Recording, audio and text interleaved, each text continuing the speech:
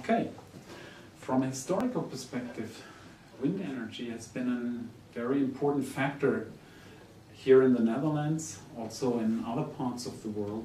For example, humanity has used wind to power ships across the oceans, and also windmills were, of course, very important um, and very important industry in the Netherlands, especially, but also outside.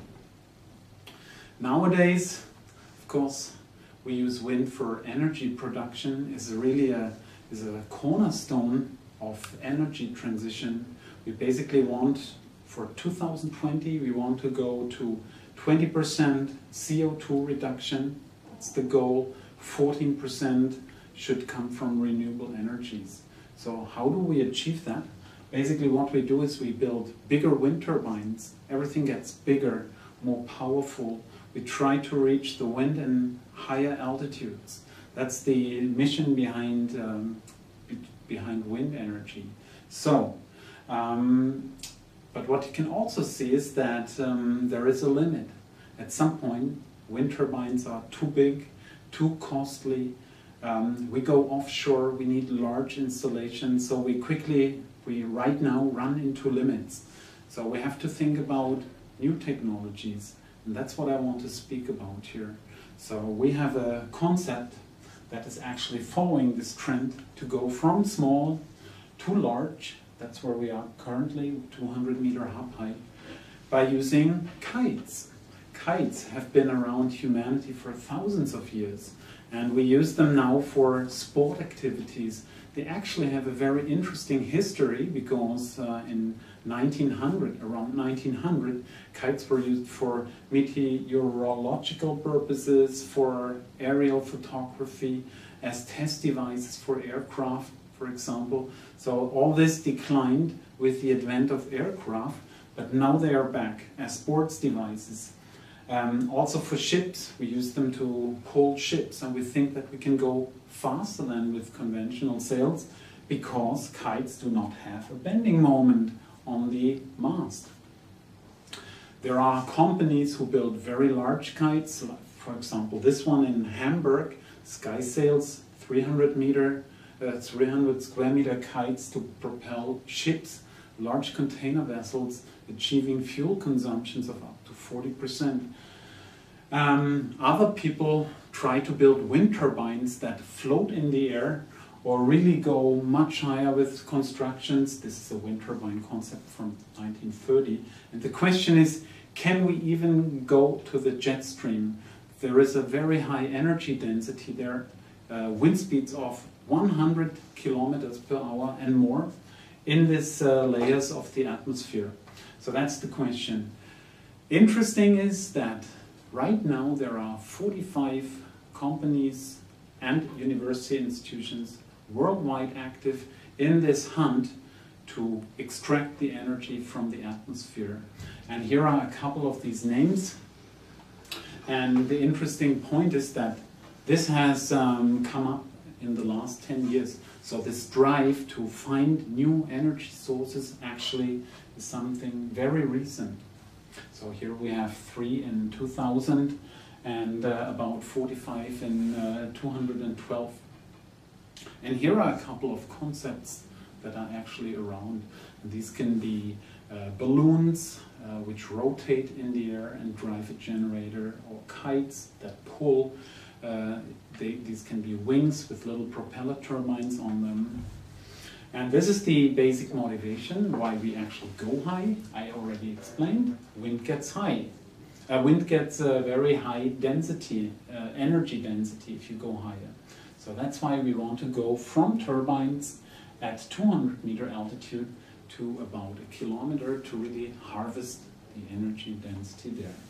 So the important or the interesting aspect is how do we do this with kites and what is the basic motivation behind that? And to explain that, we look at a wind turbine and we realize only the, the last 25% of the turbine blade creates more than 50% of the energy that is converted. On the other hand, this uh, generator sits high up in the air where you can service it only very uh, cumbersomely, and um, basically it has a large bending moment on that mass. So ideally, we separate the two. We put the generator on the ground where it should be, and we put the wing high up into the air where it can extract the maximum energy. And we connect both with a cable uh, structure that is optimized for, um, for carrying this traction load. By that we remove the mast and uh, a lot of the structure, and this is the basic principle. We want to reduce the structural costs of the system. Um, in this sense, we can reduce the energy costs in the end. That's the mission behind that. And how does it work? Basically, we see that at some point, this reeling out kite, which actually drives the generator here on the ground, will reach a maximum altitude. Then we have to switch back and reel in. So we actually fly this pumping cycle, reel out phase with crosswind figure eight maneuvers, like you know from the surface at the beach. Then we depower the kite, we flag it into the wind, we pull it back. This maneuver is explained here in this animation. You see basically how the, the kite is controlled by a control unit that hangs below the kite. That one is attached to a strong plastic cable and it drives a, a winch, uh, basically a, a, drum which is connected to a generator. And we actually create energy by reeling out. At some point, we reach the maximum altitude and the kite's rotated into the wind and pulled back. For that, we need a little bit of energy, but uh, net over the whole cycle, we actually um, generated energy. This is our prototype system that we have. It's a 25 square meter kite, and this is the control unit. And um, it also illustrates nicely what the what the basic idea behind that concept is. It's actually system intelligence to control versus a lot of material to constrain. This is the that is the big leap in technology that we do. The turbine basically requires a lot of steel to make it go around. And we fly the system with a little control unit, which in the end, like your mobile, will have a lot of integrated embedded electronics and will make the whole thing fly on a certain trajectory. That's the trick. And the idea is to reduce the cost. So here you see uh, ground station, the ground station of the system in front of wind turbines. And this is a picture from the air, which nicely shows the, um, the airborne powertrain, basically from the kite to the control unit into the ground station where the energy is produced. So here you see another picture from a helicopter. And uh, this one nicely shows that in the end we want to get rid of the energy generation plants which actually pollute our atmosphere. We want to replace them by these devices which actually can harvest energy. This is at the Maasvlakte 2. That one I skip. Very nice, of course. Kites do not pollute the horizon. So we have a cable going into the sky. At the end is this kite. You will have few people complain about this because you don't see the system. It nicely integrates into the landscape. It is very lightweight. It's actually a floating structure in the sky. So this is a, a good feature. It's flexible and soft, which is a which is an important aspect for safety. So these kind of devices will be safe. And birds have no problem with them because kites fly slow and even if they bump into a kite they will recover and fly off. So that's the key idea. And here I have some interesting movies which show how the whole thing works. This is the kite during the traction phase where it produces energy, it flies figure eights and the cable reels out